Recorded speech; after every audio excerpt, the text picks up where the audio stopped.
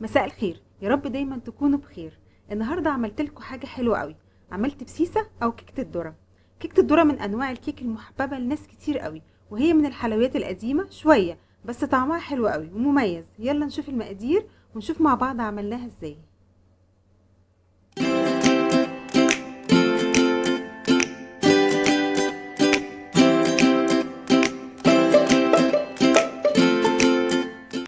المقادير كوب ونص دقيق أبيض كوب ونص دقيق ذرة أصفر كوب ونص سكر تلات أرباع كوب زبادي نص كوب عصير برتقال أربع بيضات تلات أرباع كوب زيت عباد شمس معلقة سمن baking powder فانيليا baking صودا هنبتدي بقى نعمل هنحط أربع البيضات هنحط الزيت والسمن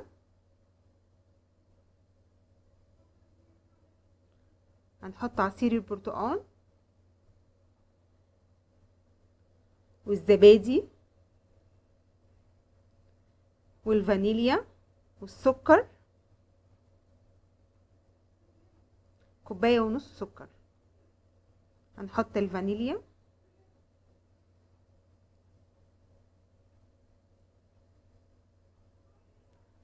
هنضربهم في الخلاط ونرجع تاني.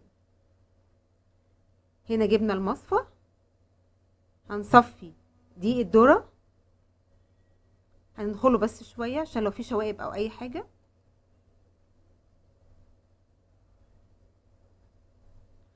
كوباية ونص دقيق.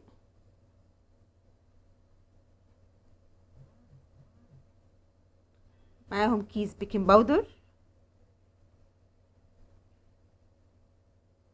نص معلقة baking صودا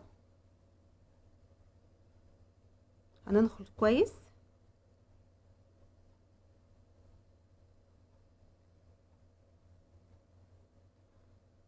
هنقلبهم شوية بس عشان يندمجوا مع بعض.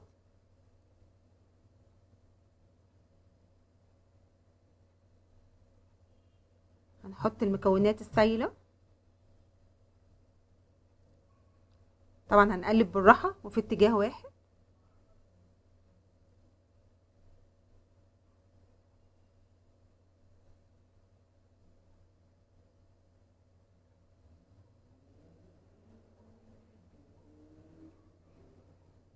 نقلب كويس لحد ما نتاكد إن الدقيق كله ده في المكونات السائلة.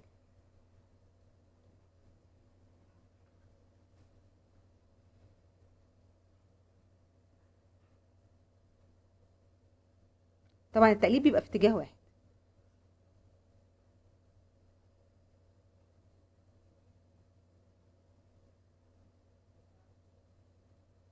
كده تمام؟ هنجيب بقى صينية مدهونة سمن. الصينية دي مقاس 30 طبعا مشغلين الفرن على حرارة 180 لمدة 10 دقايق. هي هتاخد في الفرن حوالي ساعة إلا ربع. بعد نص ساعة بنختبرها. نحركها بس شوية عشان تبقى متساوية وندخلها الفرن. هنا بعد ما استوت وقطعتها طالعة هشة مرتفعة وجميلة جدا ولونها الحلو طبعا جاي من دقيق الذرة والبرتقال وطعمها تحفة. يا ريت تجربوها وبالهنا والشفا. bye bye.